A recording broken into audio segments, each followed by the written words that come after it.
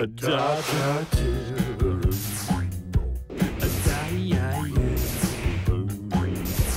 A da da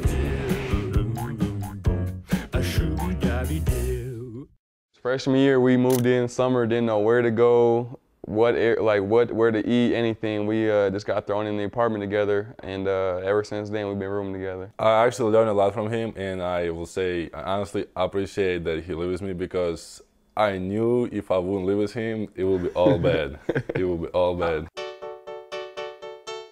I would say one thing that's funny about Ruslan is like sometimes get home from a road trip, I just walk out, he'll like walk out on his big old robe. Like he just sometimes like walk around his robe. I wouldn't say it's abnormal, but it's just funny to see like a 7 footer walking around his robe with his tee and stuff.